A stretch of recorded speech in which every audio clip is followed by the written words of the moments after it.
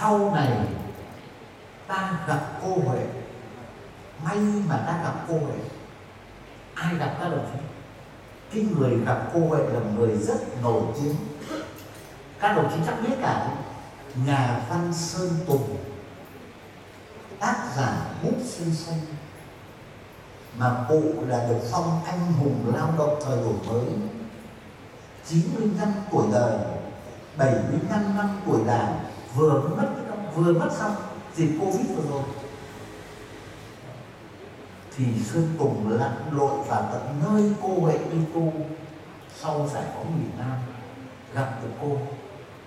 Cô đi tu rồi mà cô hỏi thế này, thế ông có bao giờ nghe thấy cụ hồ nhắc đến tôi không?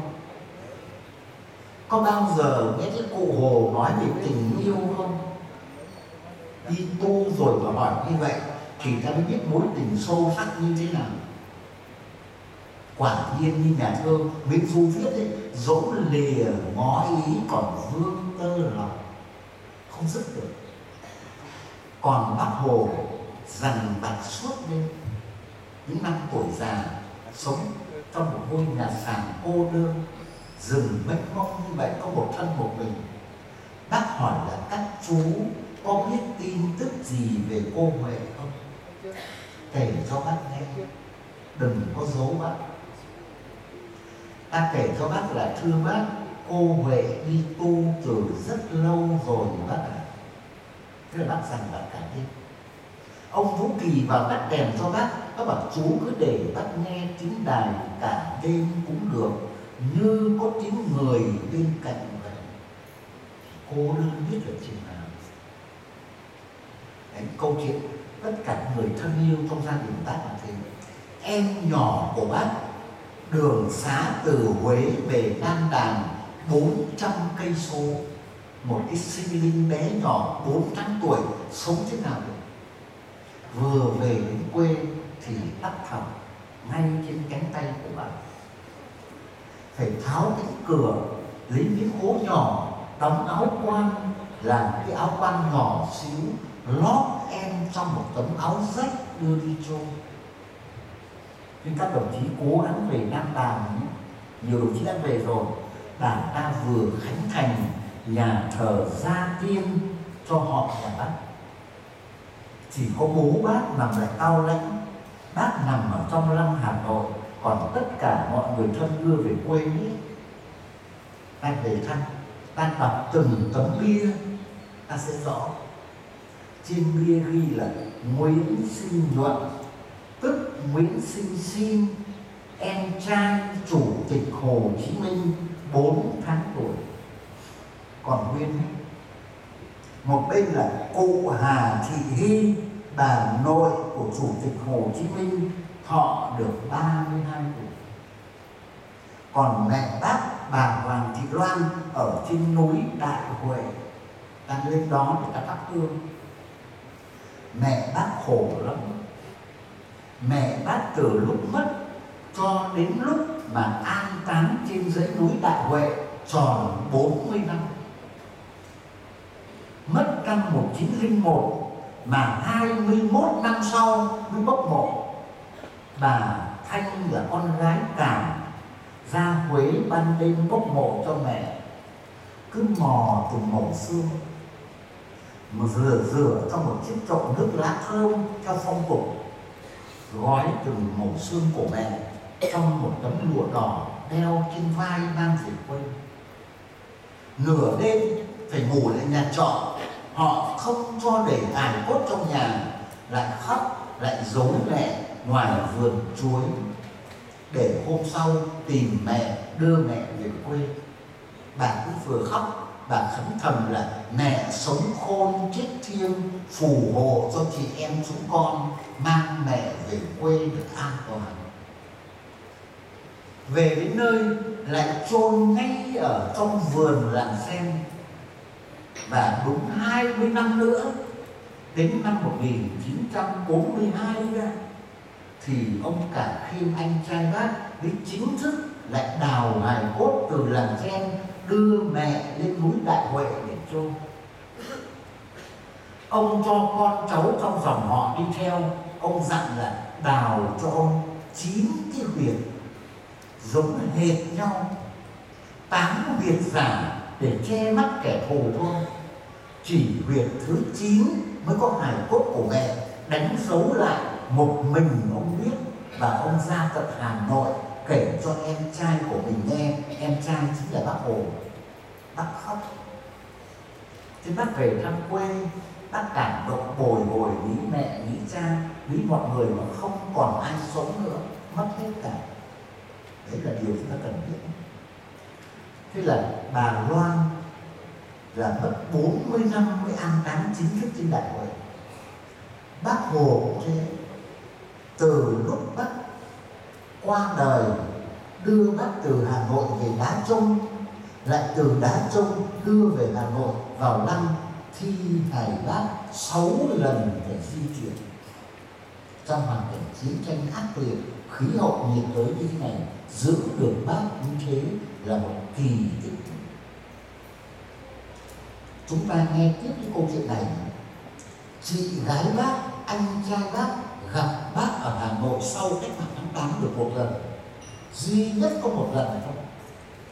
Bà Thanh khẳng định mười mươi rằng chủ tịch nước Việt Nam Hồ Chí Minh này chính là Nguyễn Tất Thành là gen em trai mình. Trong khi mọi người không tin một mình bà tin.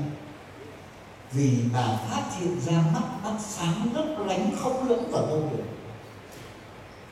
Đôi mắt sáng rực sáng. Trên trong quê bác ấy, các cụ già cao tuổi cứ đồn là lưỡng mục trùng đồng đích thị thánh nhân. Người có hai con ngươi như là bậc thánh vậy. Đấy là lời đồn thổi thôi. Chứ mắt bác không như mắt người thường nhưng sáng hơn rất nhiều. Các đồng chí trên đất hải phòng này, các đồng chí có biết tìm vĩnh bảo, quê hương của trạng trình nguyễn bình khiêm? Trạng trình nguyễn bình khiêm mà cách bắc hồ mấy trăm mà tại sao cụ tiên đoán một câu thế này, nhỉ? là nguyễn đi rồi nguyễn lại về. Nguyễn là nguyễn ái quốc. Đấy đi là đi tìm đồng cứu nước. Rồi nguyễn lại về. Về bắc có cao bằng năm bốn một còn ở quê bắc nó có cái khe núi gọi là bò đái. Bao giờ bò đái thất thanh tiếng kêu đấy thì nam đàn sinh thanh. Đúng như thế nhé cụ phan bội châu là thuộc vào hàng cha chú của bác mà cũng thừa nhận bác là thánh đó mà. Nếu nam đàn có thánh, thì thánh đó là nguyễn ái quốc, chứ không phải là tôi. Mặc dù tôi đây tức là cụ phan, là bậc cha chú của bác. Để hiểu tài năng trí tuệ, đạo đức của bác lớn như thế nào. Bà thanh ra hà nội thăm em mà bà ôm chầm lấy bác bà khóc. Sau mấy chục năm xa cách, mẹ không còn, bố không còn, chị cả cũng như cấm lòng người mẹ. Tại sao bà lại ôm chầm lấy bác? Rồi bỗng nhiên bà mới lật tay bác ra bà xem. Càng xem tay bác bà càng khóc. Nước mắt ràn rụa, đúng là em trai tôi đây rồi. Vì bà phát hiện ra cái vết sẹo dưới tay này dấu vết của một thời thơ ấu đi câu cá, cái lưới câu nó văng vào thành sẹo, còn nguyên. Đấy đấy là bà thanh đấy. bà thanh hỏi bác một câu là, việc riêng của cậu đến đâu rồi? Bác khóc. Em không còn thời gian nữa, muộn rồi, năm năm tuổi. Bây giờ chỉ còn lo cho dân, cho nước.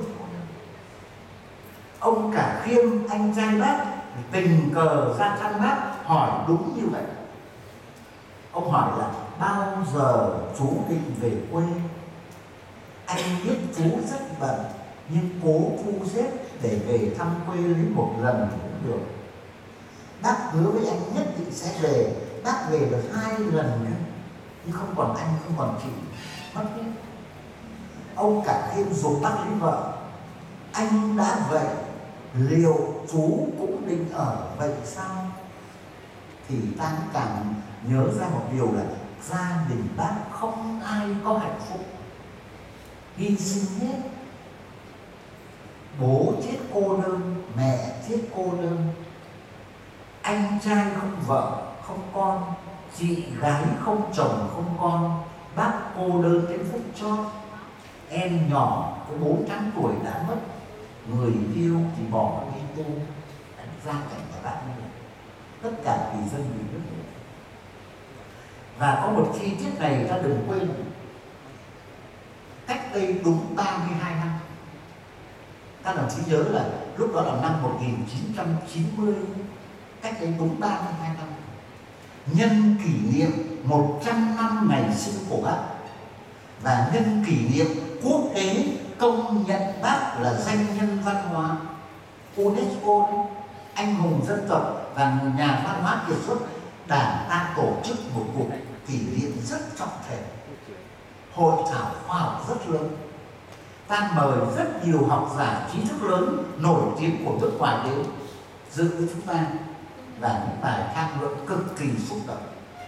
Trong đó đặc biệt là bài tham luận của một phụ nữ người Mỹ mà bà là giáo sư sử học người Mỹ. Tên bà là Josephine Swenson bà ấy đọc tham luận mà không ai cầm nổi nước mắt. Bà ấy mặc áo dài Việt Nam để đội nón Việt Nam, quà tặng của Việt Nam, bà ấy đọc tham luận. Tôi đọc để chúng ta cùng nghe.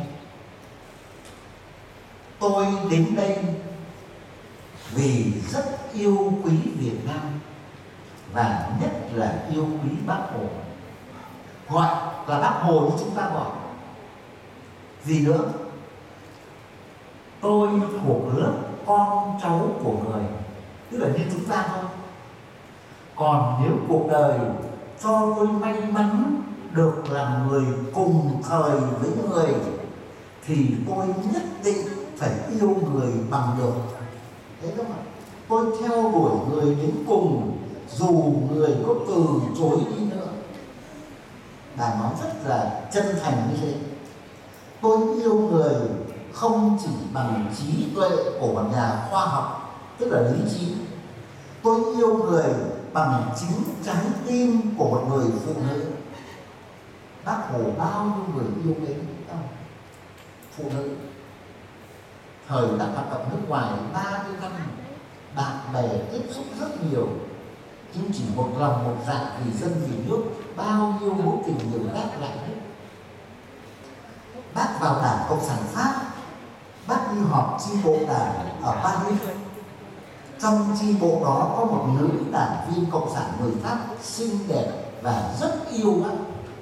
Yêu bác đến mức bà mạnh dạn tỏ tình trước cơ. Mà bác từ chối.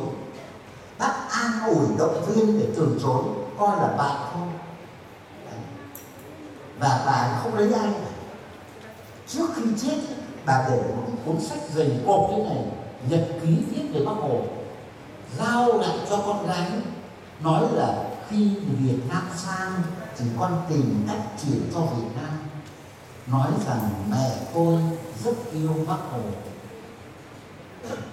Bác hồ cũng đang là người như thế ở nga cũng thế ở nga có phụ nữ nga nhân hậu, xinh đẹp yêu quý bác lắm. Mà có trong trách trong quốc tế cộng sản. Bác đang đọc tham luận như thế này, bác nói hùng biện bằng tiếng nga không cần giấy má gì cả. Mồ hôi vã ra thế này. Bác tìm tìm khăn mồ khăn tay để lau thì là không có. Bà quan sát bác từ trên ghế chủ tịch đoàn từng đi từng tí một. Bà lặng lẽ lấy khăn đưa bác bác lau mồ hôi xong bác trình bày tham luận tiếp. Bác quên bác bút luôn khăn tay vào túi quần. Lúc họp xong về quên không đưa lại. Về đến nơi ở khách sạn quốc tế mới nhớ ra bác xin lỗi. Hôm sau bác đến sớm bác trả lại khăn đã là sạch sạch sẽ rồi. Bà có lấy đâu bà từ chối. Bà nhân hậu lắm. Bà nói thế này, này người nga đã yêu ai? Mà trao khăn thì không bao giờ lấy lại. Thì có khác gì là một thông điệp về tình yêu các đồng chí? Bác hồ của chúng ta sống trong lòng bạn bè như thế đấy. Bác cảm ơn, bác nói là hóa ra dân tộc nào cũng có mỹ tục. Mỹ tục là phong tục đẹp. Việt Nam chúng tôi còn có câu yêu nhau cởi áo cho nhau. Câu dân ca quan họ đấy các đồng chí ta mới hiểu các đồng chí về Bắc Ninh nhé. Bắc Ninh là xứ sở quan họ, hóa ra Bắc Ninh là mảnh đất đón bác nhiều nhất 18 lần ở cả vì gắn với sự kiện tổng bí thư trường trinh họp trung ương ở đó. Và sau này, phong trào cách mạng bắt đầu từ đó. Cũng như chúng ta đây dù là sau giải phóng Hải Phòng năm năm năm năm năm sáu, có chi bộ đảng ở đây. Nhưng mà truyền thống này gắn với cả thành phố cảng Trung Dũng Kiên Cường từ lâu rồi.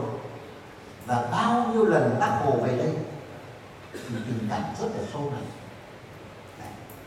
tôi nói trước cái câu chuyện về bác Hồ. Cái bà ấy, bà nói như thế, nhưng cho nên là bà ấy còn nói là tôi vào nhà sàn thăm bác. Nơi bác ở, thì tôi khóc tôi cố tìm xem người có của là riêng tư gì không? Có nói đi đôi với làm không? Thì tôi phải nhận rằng người đi sinh hết, người không có một chút riêng tư. Nhìn bàn làm việc của vĩ nhân một chiếc bàn mộc thô sơ, có cả ống bơ sữa bò để cắm bút bi bút chì làm việc thì tôi hiểu đây là một con người cả đời tiết kiệm vì dân vì nước hy sinh tất cả. Tôi càng khóc nhiều hơn khi nhìn cái giường bác nằm chiếc giường cá nhân bé nhỏ chăn đơn gối chiếc. Ta vào thăm nhà bác cái chiếu bác nằm trên giường ấy là chiếu mộc không có chiếu hoa chiếu mộc. Đơn sơ lắm, chỉ có hai cái quạt chiếc quạt mông câu của nghệ an miếu bác chiếc quạt lá cọ